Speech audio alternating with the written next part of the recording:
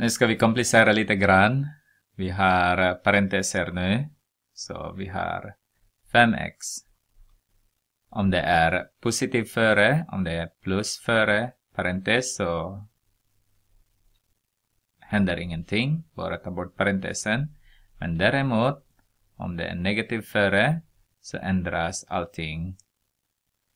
Alla tecken, de som finns inuti parentesen, så har vi negativ x där nu. Så det var positiv innan. Okej. Okay. Och sen det blir positiv 1. Och då kan vi samla allting.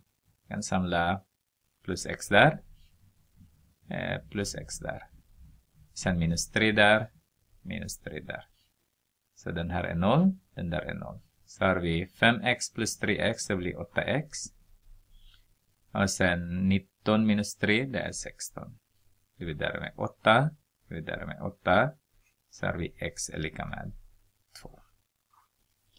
Om ni tycker att det gick för fort så gör jag steg för steg. Så har jag 5x här. 5x. Adderar med 3. Adderar med 2x, tar vi bort den. Är lika med 18, så tar jag med x, adderar med 1. Okej, okay, därför det var negativ innan, så blev det positivt. Okej, okay, om vi samlar allting så 7x, adderar med 3 är lika med 19, så tar jag med x.